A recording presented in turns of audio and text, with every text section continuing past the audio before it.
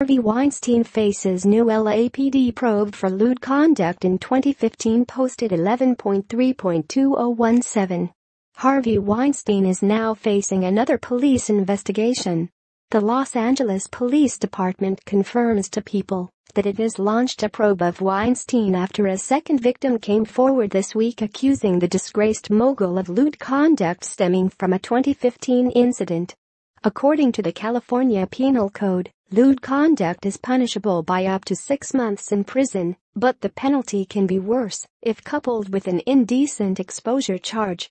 If convicted of both lewd conduct and indecent exposure, Weinstein would face jail time and be forced to register as a sex offender.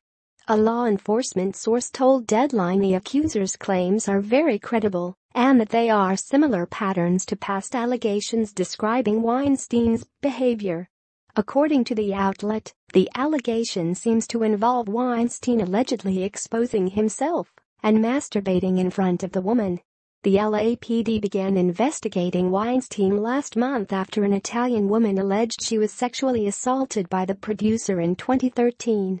Earlier on Friday, the New York Police Department announced it was gathering evidence to arrest Weinstein after detectives interviewed Boardwalk Empire actress Paz de la Huerta, who claims Weinstein raped her twice in 2010 related Harvey Weinstein's horrific history of bullying. He was aggressive on all kinds of levels of spokesperson for the NYPD told people they found her claims to be credible, adding that they have already been able to corroborate aspects of her story.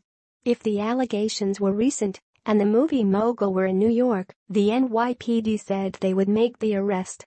However, since Weinstein is currently out of state and the allegations are years old, investigators still need to gather more evidence before seeking a warrant for Weinstein's arrest. Weinstein is currently in Arizona getting treatment. She put forth a credible and detailed narrative to us. We then sought to garner corroboration. This happened seven years ago, and we found corroboration, Chief of Detectives Robert Boyce told reporters on Friday. We have an actual case here. A spokesperson for Weinstein did not immediately respond to a request for comment, but as previously said any allegations of non-consensual sex are unequivocally denied by Mr. Weinstein. Joan Vollero, a spokesperson for the Manhattan District Attorney's Office, told people that an investigation into Weinstein is ongoing. A senior sex crimes prosecutor is assigned to this investigation and the office has been working with our partners in the NYPD since the new allegations came to light. As this is an active investigation, we will not be commenting further. The Oscar-winning producer has been accused of sexual misconduct by over 50 women since the New York Times and the New Yorker documented decades of alleged sexual misconduct and sexual assault involving a number of women in detailed articles earlier this month.